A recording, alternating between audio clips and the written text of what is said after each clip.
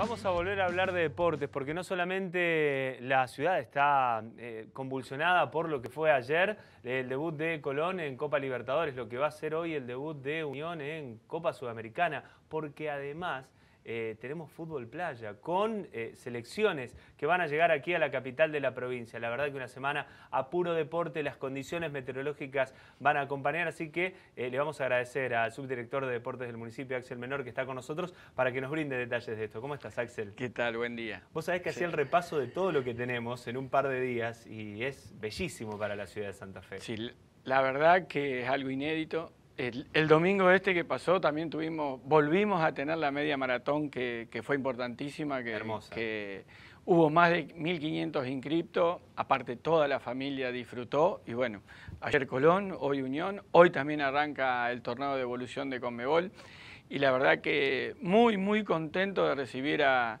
a cinco países con dos selecciones cada una, sub-20 y la primera de cada, de cada país. Bueno, no, eh, invitación a toda la familia también porque comienza hoy, es totalmente libre y gratuito. Eh, los esperamos en nuestra costanera, ahí se están viendo en las imágenes el armado, ahora ya está todo listo, está todo, todo vestido para que, para que sea un evento multitudinario y, a la espera de la familia para disfrutar. ¿Qué trabajos se realizaron en esta zona donde está el, playón de, deportes del municipio para quienes son más grandes? y pintan canas, ahí estaba el MOS, antes. Eh, bueno, ¿qué trabajos hicieron para dejar todo? Sí, en la, parte, en la parte de abajo se bajó el nivel de, la arena porque había muchos requisitos que Conmebol eh, nos exigía. Principalmente el que nos exigía eh, nuestro amigo Neri Pumpido, que fue el artífice de esto para, para poder tener este evento de esta magnitud. Y, y bueno, casi dos metros se bajaron de arena, se niveló se hizo un trabajo de, remoción de piedras, todo lo, que había que no era apto para, el fútbol. Y se, bueno, se plantaron los arcos, se hizo toda una estructura con carpas porque es, así eh, vistoso. Eh, no, no, querían que hagamos mucho en cemento ni que obstruya la visual, esas cosas. Se pusieron más de 14 carpas y bueno, esperando también que la televisación también que sale al exterior sea un éxito. Ayer se estuvieron probando las luces y está prácticamente acordado que la televisación va a dar, va a dar bien. Así que bueno, esperando, esperando que sean las 4 de la tarde, ese es mi celular. no importa, no hay problema. esperando que sea las 4 de la tarde para arrancar el acto inaugural y a las 4 y media que se empiecen los, los partidos. Eh, pensaba en el marco, ¿no? porque estamos viendo las imágenes.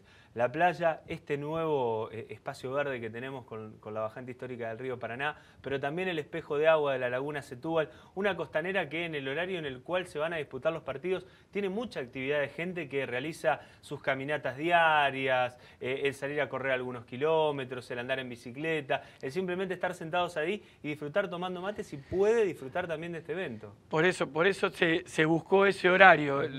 Los chicos de Conmebol nos preguntaban cuál era el horario ideal y, nosotros pusimos este horario porque también no hace tanto calor, ya es una época linda y para que el que pasa caminando quede un ratito, quede un tiempo, se juegan tres tiempos de 12 minutos, puedan disfrutar de selecciones internacionales, que es muy importante y tenemos que darle, eh, entre comillas, manija este, esta disciplina porque todavía no la tenemos bien afianzada acá en el país y por eso también Conmebol nos, nos, tira esta soguita para, para poder afianzarla y que haya más partícipe del fútbol playa acá en nuestra ciudad y en, y en, el país. Bueno, comienza hoy, ¿cómo es el cronograma de actividades? Todos los días, desde las 16 a las 22 horas, partidos de fútbol. Generalmente juega el último partido de la selección argentina, excepto el viernes que queda libre.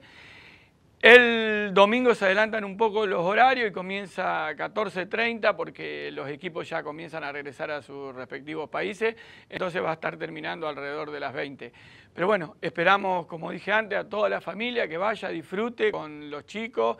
No hay problema que lleven las mascotas también, porque hay lugar para que estén las mascotas al costado de la tribuna.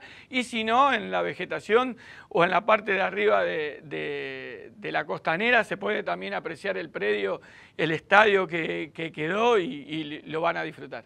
eh, la verdad que a disfrutar los santafesinos, los visitantes, porque tantos eventos de tanta jerarquía, hacía mucho tiempo que no teníamos en la ciudad de Santa Fe.